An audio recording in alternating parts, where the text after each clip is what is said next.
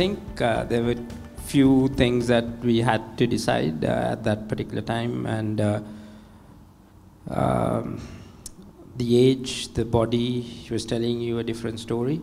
Um, the next World Cup is next year, uh, middle of next year, so that's four years away from where we stopped, and we knew that we couldn't uh, be uh, physically or mentally right for that World Cup. So needed to give the team time to develop.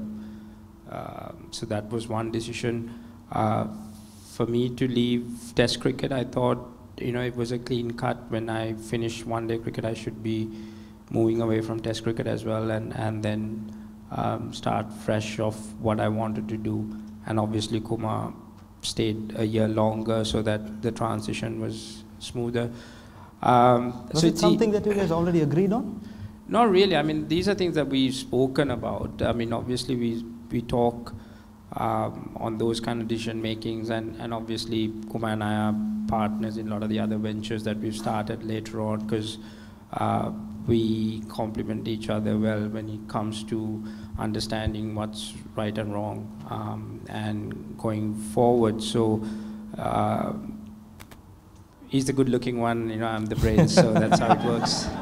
Uh, and uh, but I think I think uh, what you have to realize is the the changes that needed to be made with the the the national team and what has aspired after us. Obviously, everyone knew that we were going to leave, and and whether they were ready as an organization so that people will say that okay it's our fault but i don't think we were the decision makers in that process. We were still professionals playing for your country.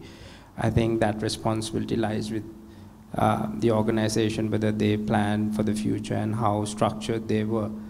Um, i think that is where things needs to be changed and uh, adaptability and, and future planning needs to be done.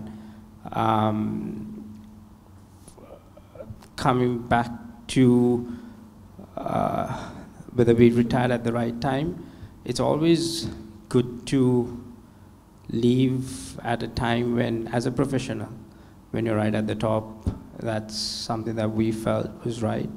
And at a time where people would say, why and why not? So, so that's a big difference between that. Um, so as long as if you're still asking why we left, and that's I think that's a good position for us to be in. It's, been it's not a selfish. And the question is still there. It's been three years, and the question yeah, is still so there. so it's not a selfish way of thinking, but it's then you know you had made the right decision, and and rather than people asking why aren't you.